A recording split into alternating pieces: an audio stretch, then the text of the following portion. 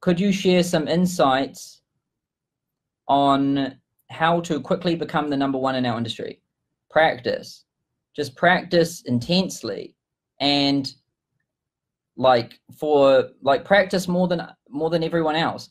Honestly, most people worry more about what they look like. So they're out there trying to do a podcast and get photographs and they're trying to go and speak on stages and they're trying to write an Amazon best-selling book and they're trying to go and get all of these customers and they're trying to do all of this social media shit and they're trying to do so much of this shit to try to look good.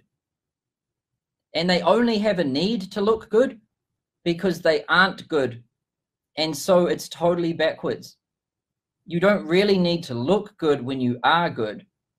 And it's I would say it's probably more efficient use of energy to just become good than to try to like look good.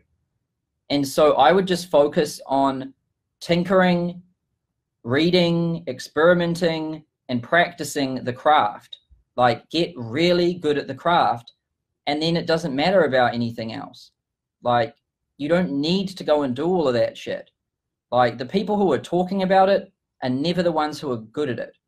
Like there's talkers and there's doers. And I wouldn't hire a talker ever. And you should become a doer. They're the best. And doers are never very like doers are never very famous. Like they're they're actually less famous and less known than the the other people. I'd become one of them. Those are the people that win.